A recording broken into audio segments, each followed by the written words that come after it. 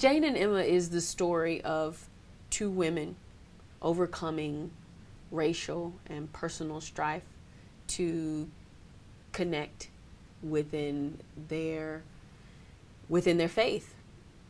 Um, that's that's essentially what it is. It's not it's it's not those things singularly. It is all of those things um, together. It is it is a this is but these this is more of this is a film about two women coming into themselves and that is via the faith that they practice that is uh, via the social climate that they are are within.